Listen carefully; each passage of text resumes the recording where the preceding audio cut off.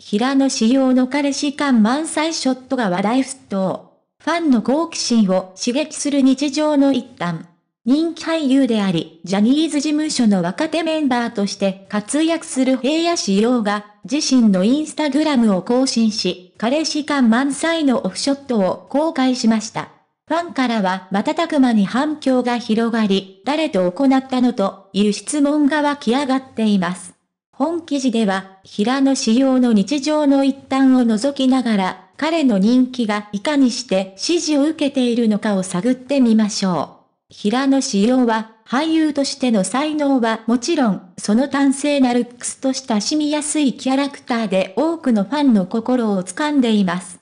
彼の SNS アカウントは、日々の活動やプライベートな一面を垣間見ることができる場として、多くの人々にとって楽しみの一つとなっています。彼の最新のインスタグラム投稿では、カフェでレモネードを飲んでいるショットや、食事を楽しむ様子が収められていました。これらの写真は、彼氏感たっぷりの姿が映し出されており、ファンたちは大いに興奮しています。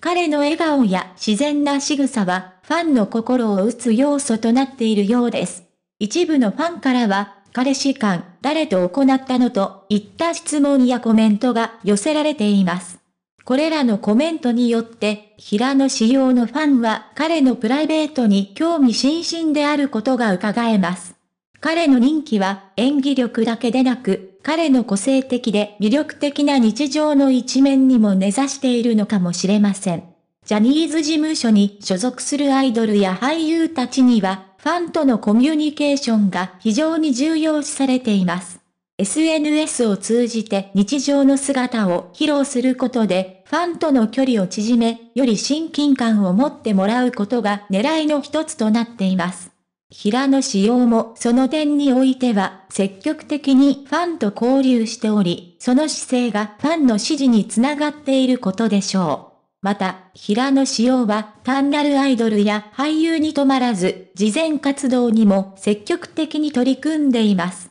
彼の影響力を利用して、様々な社会貢献活動に参加し、ファンにもその大切さを伝える姿勢は、彼の人気にさらなる広がりをもたらしています。平野仕様の彼氏感あふれるショットが SNS 上で大きな話題を呼んでいます。その人気の背景には、彼の俳優としての才能だけでなく、ファンとのコミュニケーションや慈善活動に対する積極的な姿勢が影響しているようです。彼の日常の一端を垣間見ることで、ファンはますます彼に寄り添い、応援する気持ちを強めていることでしょう。彼の今後の活動にもますます注目が集まりますが、彼のファンはその成長を見守ることでしょう。